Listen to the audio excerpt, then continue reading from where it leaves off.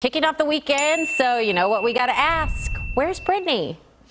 I don't know. You always say that, but you do know. But I, I, yeah, okay, I know. she, she's helping us explore the hidden gems of DFW. And this weekend, she's exploring chocolate bars, bonbons, and beyond. All of that is good to me.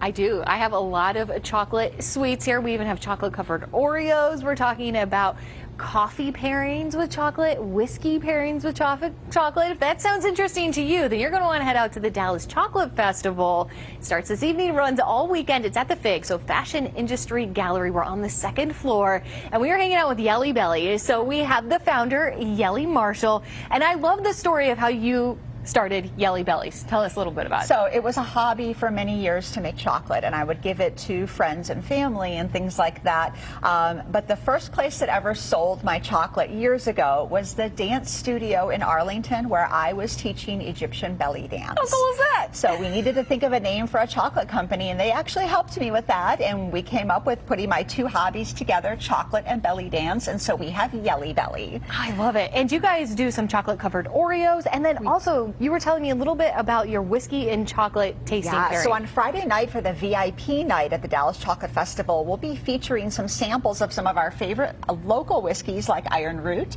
and we'll be pairing it with our chocolate whiskey discs, which are great for bringing out more flavor of whiskey, wine, and rum. Oh. And so that's all Friday night, and then we'll have a variety of our chocolates for sale, along with many other chocolatiers here at the Dallas Chocolate Festival. And then we'll also be making our liquid nitrogen yes. ice cream. Let's go over there on Saturday. You don't want to miss this. This is so cool. She brings in science to a delicious treat here. So you started off with your mix, which you said was cream, yep. sugar, we make a really basic ice cream mix that's really pure, no extra preservatives or anything. Um, nice. Heavy whipping cream, milk, sugar, and vanilla bean. We'll also add some uh, couverture Belgian chocolate. So all day on Saturday, we'll be sampling our liquid nitrogen ice cream for folks, and I'd love to get you a sample yes, if you would like. I would love it. So and I let's like get some of ours out here for you and you can add toppings if you'd like. Oh, so as a sample all day, folks will have the ability to try our different flavors of chocolate. We'll even have some vegan options for folks to try.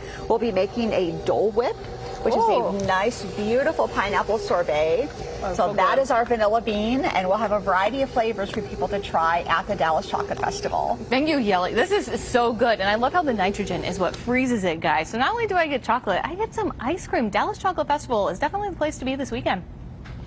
I mean, it looks good too. It does. Hey, hey uh, Brittany, uh, sprinkle a little whiskey on top of that. right. we know where your mind is today, Keith. It is Friday. Thank goodness it is Friday. Yeah, the da Dallas Chocolate Festival runs all weekend long. It's being held at the Fashion Industry Gallery, aka, as Brittany said, the FIG on Ross Avenue in downtown Dallas. Tickets available on dallaschocolate.org.